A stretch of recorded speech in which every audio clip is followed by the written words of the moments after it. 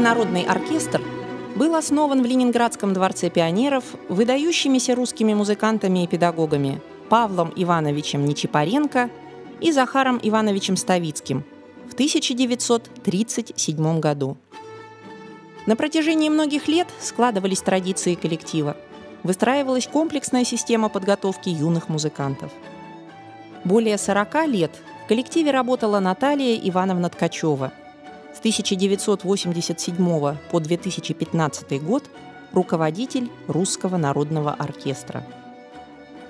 А с 16 февраля 2016 года коллектив возглавляет Наталья Михайловна Ткачева – Насколько я себя помню, я нахожусь во дворце практически с рождения, поэтому меня и называли «дочь дворца». А появилась я здесь благодаря своей маме, Ткачевой Наталье Ивановне, которая проработала во дворце в Русском народном оркестре дирижером 43 года. Я начала заниматься э, у Татьяны Ефремовны Холодилы в хоре «Капельки». Потом я занималась по классу фортепиано, и с 7 лет я стала э, обучаться игре на домре. Потом поступила в оркестр, начиная с пятого пульта, дошла до первого пульта, то есть творческий такой был, тернистый тоже путь, а, проработала концертмейстером. Именно не отыграла, а проработала, потому что концертмейстер – это очень такая ответственная должность, которая правая рука дирижера, действительно отработала много лет. Потом я поступила в музыкальное училище имени Мусорского, и, будучи студенткой третьего курса, по исполнению 18 лет, 1 февраля 1996 года я сотрудник дворца трудовой книжке моей стоит всего одна запись, принята педагогом 1 февраля 1996 года. После окончания музыкального училища имени Усерского по классу Домры я поступила э, в Государственный институт культуры и искусств и закончила его с отличием по специальности дирижирования. И с февраля 2016 года я являюсь художественным руководителем и дирижером Русского народного оркестра городского дворца творчества юных. Многолетний педагогический опыт коллектива воплощен в дополнительных общеобразовательных общеразвивающих программах. Оркестровый класс, развитие навыков оркестрового музицирования в Русском народном оркестре, обучение игре на балалайке, обучение игре на баяне в Русском народном оркестре, обучение игре на домре. Программами индивидуальных классов предусмотрено два этапа – дооркестровый и оркестровый – Ребята осваивают один из русских народных инструментов – домру, балалайку, баян, получают представление о русской музыкальной культуре, своем инструменте, его истории, музыкальных и технических возможностях. Методика дооркестрового обучения включает в себя все основные этапы начального обучения. Основы элементарной теории музыки, постановку игрового аппарата, сольное исполнительство, работу с концертмейстером, чтение с листа, освоение оркестровых партий. Одним из главных достижений данной методики является то, что она предусматривает наличие индивидуального маршрута каждого ребенка и позволяет в результате присоединиться к одной из интереснейших форм музицирования – коллективной оркестровой игре. Цель, объединяющая программы обучения игре на домре, балалайке, баяне – это развитие музыкальных способностей ребенка и приобщение к традициям русской музыкальной культуры через обучение игре на инструменте. Цель оркестровой программы – создание условий для подготовки технически грамотного оркестрового музыканта, развитие его творческих способностей и формирование его профессионального самоопределения. Задачи, которые ставятся – это формирование культуры общения в коллективе, навыков коммуникативности, социальной и творческой активности – развитие музыкальной культуры, музыкального слуха, ритма, памяти, художественного вкуса, раскрытие творческих способностей посредством обучения игре на инструменте, приобретение умений и навыков сольного, ансамблевого, оркестрового исполнительства, а также творческой и исполнительской деятельности. Ежегодно в летний период образовательный процесс Русского народного оркестра продолжается на уникальной площадке загородного центра «Зеркальный», Ежедневные оркестровые репетиции позволяют за короткий период смены существенно повысить исполнительский уровень коллектива, а участие во внутриотрядных мероприятиях, спортивных соревнованиях, насыщенных событиях каждой смены служит сплочению детского коллектива. И традиционно каждая смена завершается отчетным концертом. А в настоящее время репертуар Русского народного оркестра включает в себя не только исполнение русских народных песен и обработок, но и произведения, нетипичные для данного вида оркестра. А это произведения Вивальди, Бетховена, Римского-Корсакова, Гайдна новым, немного даже инновационным в деятельности оркестра, и опять же в обновлении репертуара, явилось сотрудничество с Союзом композиторов, под эгидой которого два года подряд мы принимали участие в Международном фестивале «Земля детей». Отличительной чертой данного фестиваля является то, что музыкальные детские творческие коллективы, подчеркиваю детские, исполняют произведения современных петербургских композиторов – для нашего оркестра было написано два произведения, которые мы исполняли с большим успехом и которые вошли в наш текущий репертуар, в репертуар Русского народного оркестра. В настоящее время педагогический коллектив состоит из девяти человек, шести педагогов и трех концертмейстеров, высокопрофессиональных специалистов, выпускников ведущих музыкальных вузов Ленинграда, Санкт-Петербурга и России – Восемь педагогических работников имеют высшую квалификационную категорию. Педагог по классу балалайки Дмитрий Алексеевич Афанасьев является лауреатом всероссийского и международного конкурсов. Педагоги сектора принимают активное участие в городских конференциях, проводят открытые уроки, занимаются совместным музицированием.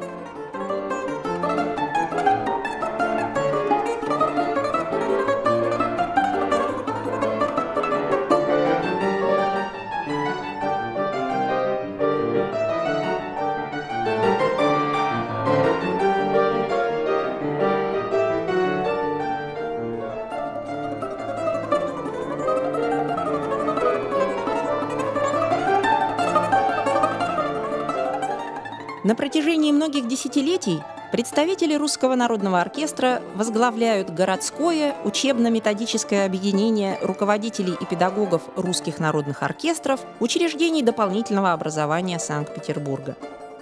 В рамках этого объединения проводятся открытые уроки, круглые столы, семинары, встречи с представителями профессионального музыкального образования в области исполнительства на русских народных инструментах – Проводятся фестивали и конкурсы, где оркестровые коллективы и их солисты представляют свое мастерство. Для участия в праздничном концерте «Страницы счастливого детства», посвященного столетию системы дополнительного образования, был создан городской сводный детский русский народный оркестр, состоящий из 125 участников. Детский коллектив, который в этом году состоит из 80 человек, выступает на лучших концертных площадках Санкт-Петербурга. Большом концертном зале «Октябрьский», Большом зале филармонии, концертном зале Государственной академической капеллы, концертном зале «Карнавал», залах Аничкова дворца. Оркестр и его солисты принимают участие не только в городских, но и во всероссийских и международных фестивалях и конкурсах. В марте 2017 года Русский народный оркестр принимал участие в форуме юных лидеров, который назывался «Вместе, разом», посвященном Дню единения народов России и Беларуси. В 2018 году оркестр принимал участие в концерте открытия 29-го международного детского музыкального фестиваля «Земля детей», который проводится Союзом композиторов Санкт-Петербурга. Особенностью этого концерта стало то, что петербургские композиторы создавали свои произведения для конкретных детских коллективов.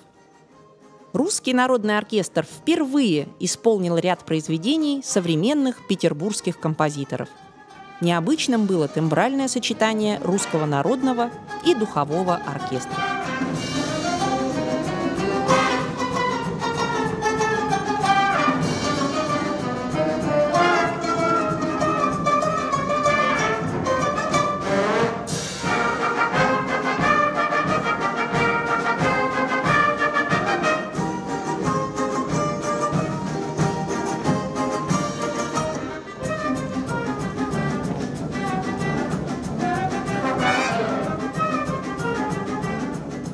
Декабре 2018 года Русский народный оркестр совместно с детским коллективом «Теремок» представлял Санкт-Петербург в юбилейных мероприятиях, посвященных 70-летию финского региона Иматра. Музыканты оркестра всегда принимают участие в мероприятиях, посвященных главным датам в истории нашей страны Ленинградскому Дню Победы и Дню Победы в Великой Отечественной войне. Гордость оркестра – это его выпускники. За прошедший период несколько ребят были удостоены почетного звания «Звезда Дворца». Несмотря на то, что подготовка музыкантов-профессионалов не является главной целью деятельности коллектива, многие выбирают профессиональную тропу, продолжая обучение в музыкальных колледжах Санкт-Петербурга. Выпускник оркестра 2015 года Владислав Фетченко в 2019 году закончил музыкальное училище имени Мусорского и стал студентом Санкт-Петербургской государственной консерватории имени Николая Андреевича Римского-Корсакова. Отрадно, что многие выпускники являются родителями нынешних обучающихся. В далеком 1986 году в оркестр меня привела моя мама. Когда мы пришли э, знакомиться с творчеством Русского народного оркестра, э, мне, меня задали вопрос, на чем бы я хотела играть. Я растерялась, я не знала сначала, но потом одна ученица сыграла мелодию из произведения Аллы Пугачевой, какую-то мелодию на домре. И я твердо решила, что буду играть на домре. Вот. С тех пор начался, начался мой творческий путь в оркестре с далекого 1986 года. Занималась я 11 лет. Моим педагогом была Наталья Ивановна Ткачева. Спасибо ей огромное, вот, что вырастила меня в добре, в понимании, в ласке. Вот так вот начался мой путь. Самые яркие события э, это, конечно же, гастроли. Гастроли, зеркальный, э, столько позитивных эмоций, особенно когда на, в далекой стране ты поднимаешься на сцену, звучит родная музыка, и когда тебе стоя аплодирует весь зал. Вот это, это, это зашкаливает все эмоции – я бы хотела вернуться еще раз туда, но, к сожалению, это невозможно. Когда подошел возраст моей дочери посещать какие-либо кружки, я ей задала вопрос, я говорю, Дашенька, может, ты хочешь пойти в спорт, волейбол заниматься, там, теннис, может быть, что-нибудь ты хочешь? На что мне моя дочь смотрит в глаза и говорит, мамочка, я хочу как ты. Я хочу играть на домре. Ну, естественно, мамочка растаяла, вот, пришла на прослушивание. Слава богу, Даша подошла, и занимается, ей очень нравится, и если удается минутка, мы даже с ней вместе иногда музицируем. А я бы хотела, чтобы у нее была такая же, похожая жизнь на мою, чтобы у нее также появились друзья, и оркестр, он дает очень много тех качеств, которые сейчас редко встречаются в людях. Это честность, уважение, доброта. Коллектив развивается, коллектив смотрит в будущее. Впереди новый репертуар, интересные выступления, новые ребята и их родители, которые отдадут частичку себя делу сохранения и развития традиции исполнительства на русских народных инструментах.